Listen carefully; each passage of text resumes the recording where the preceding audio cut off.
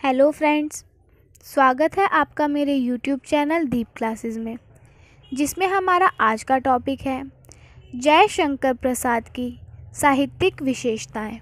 हमारा आज का टॉपिक स्टार्ट करने से पहले, अगर आप हमारे चैनल पर नए हैं, या आपने अभी तक हमारे चैनल को सब्सक्राइब नहीं किया है तो इसे सब्सक्राइब कर लें, जिससे हमारे आने वाले वीडियो के सभी नोटिफिकेशंस आप तक पहुँच सके।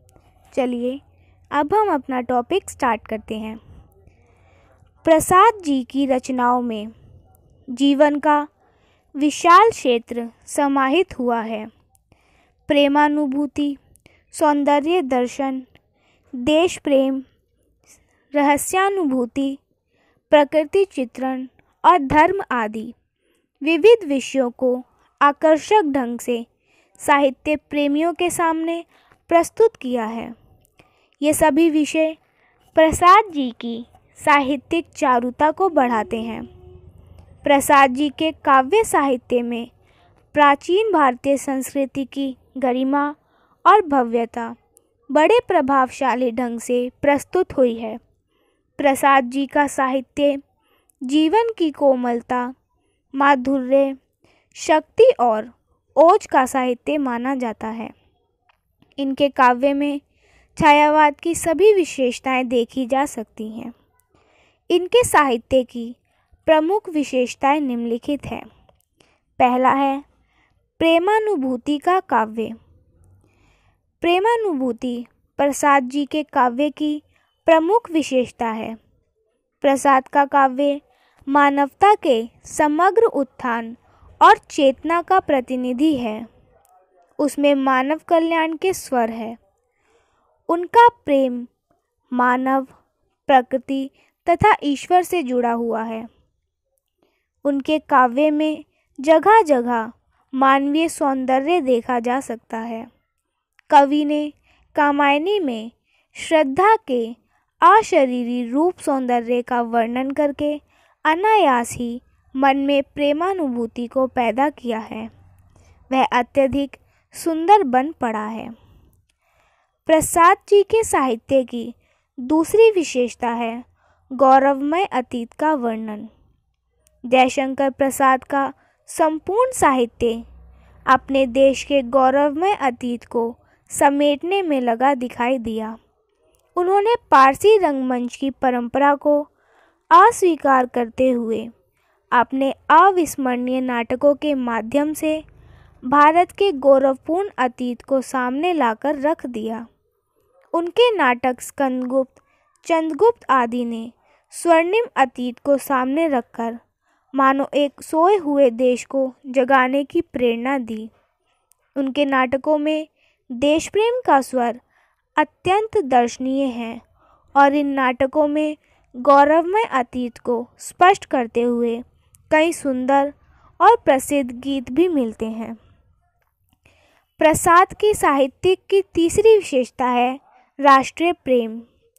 राष्ट्र प्रेम को प्रसाद जी ने अपने साहित्य में सर्वत्र जगह दी है। अपने राष्ट्रीय प्रेम और देश के प्रति सम्मान को प्रसाद जी ने विभिन्न कविताओं, नाटकों, कहानियों के प्रसंगों के माध्यम से अभिव्यक्त किया है। उनके नाटकों के विभिन्न पात्र देशभक्ति संबंधी भावों के पद का गान करते हुए दिखाई देते हैं। प्रसाद जी ने राष्ट्रीय गौरव और स्वाभिमान को अपने साहित्य में सर्वत्र स्थान दिया है। उनकी अनेक रचनाएँ राष्ट्रीय प्रेम के उत्कर्ष भाव को जगाने वाली हैं।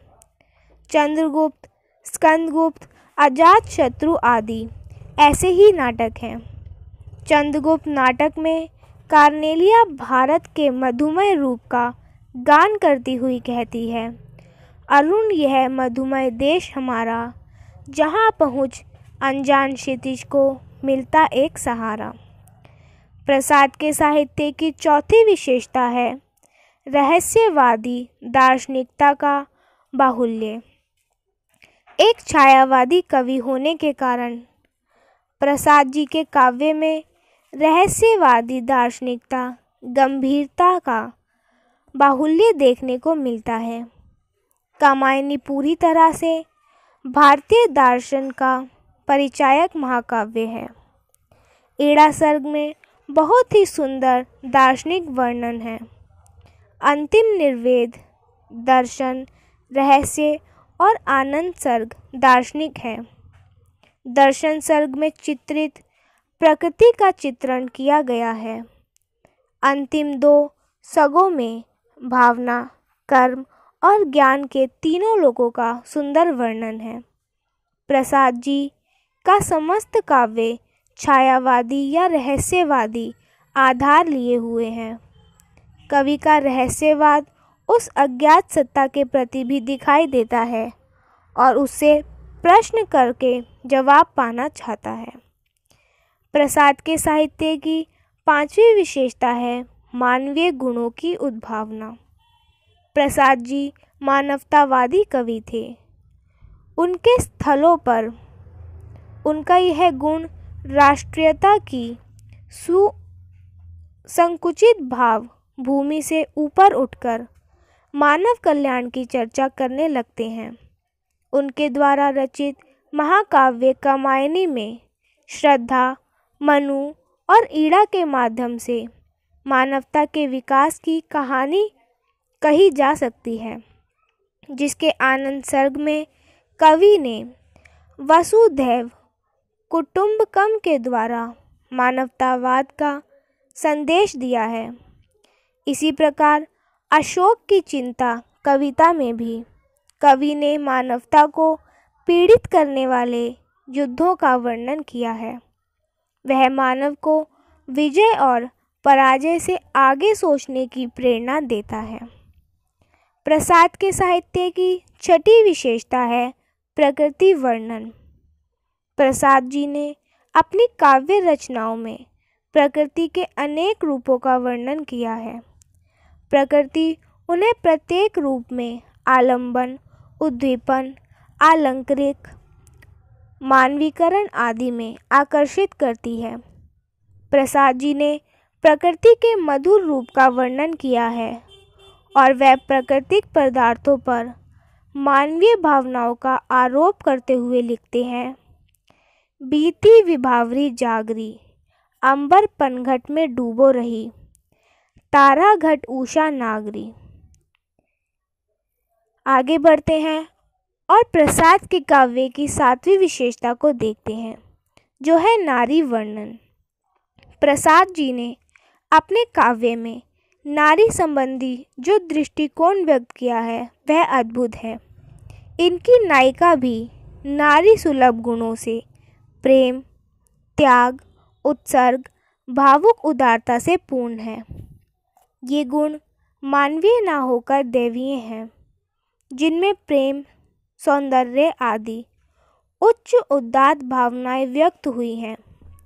नारी के इस प्रकार के उदात गुण पृथ्वी लोक की नारी में नहीं देखे जा सकते।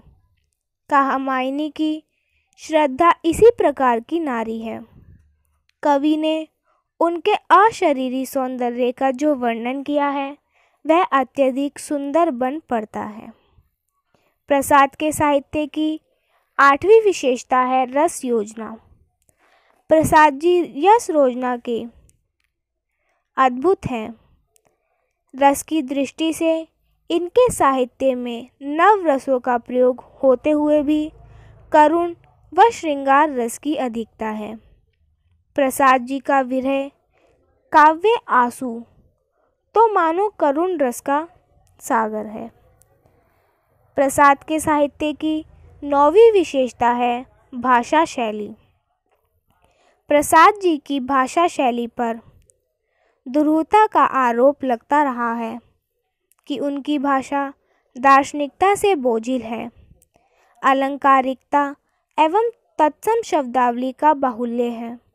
किंतु प्रसाद जी ने जिस प्रकार की रचनाएँ साहित्य जगत को दी है, उनके अनुसार वैसी अलंकारिक एवं तत्सम बहुत शब्दावली युग की मांग बन जाती है। उनके अनुसार, विषय के अनुसार भाषा का चयन किया जाना चाहिए।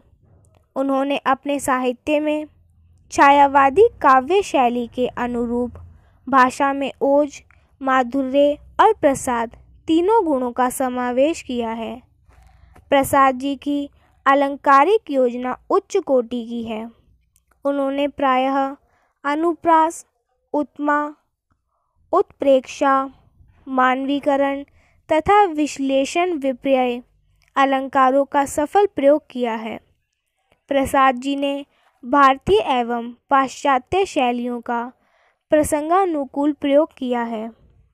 प्रसाद जी ने अपनी भाषा का श्रृंगार संस्कृत के तत्सम शब्दों से किया है। भावमयता इनकी भाषा शैली प्रधान विशेषता है। प्रसाद जी का बिंब व प्रतीक विधान परंपरागत होते हुए भी नवीनता लिए हुए है। शैली की लाक्षणिकता, इनकी काव्य भाषा की एक अन्य विशेषता है। इन्होंने अपना अधिकांश काव्य छंद में आबद्ध किया है।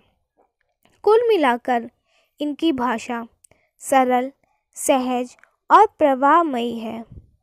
भाषा शैली और शब्द विन्यास के निर्माण के लिए। जितना संघर्ष प्रसाद जी को करना पड़ा, उतना दूसरों को नहीं। अभिनेता के कारण उनकी बहुत आलोचना की गई तो उन्होंने एक बार कहा भी था कि रंगमंच नाटक के अनुकूल होना चाहिए, न कि नाटक रंगमंच के अनुकूल। उनका यह कथन ही नाटक की गरिमा को सिद्ध कर देता है। इसी के साथ आज का हमारा टॉपिक यहीं ख़त्म होता है, जिसमें हमने जाना जयशंकर प्रसाद के काव्य की साहित्यिक विशेषताओं के बारे में। अगर हमारा आज का वीडियो आपको पसंद आया हो तो वीडियो को लाइक एंड शेयर करें और हमारे आने वाले सभी वीडियो के नोटिफिकेशंस के लिए हमारे चैनल को सब्सक्राइब करें। Thank you for watching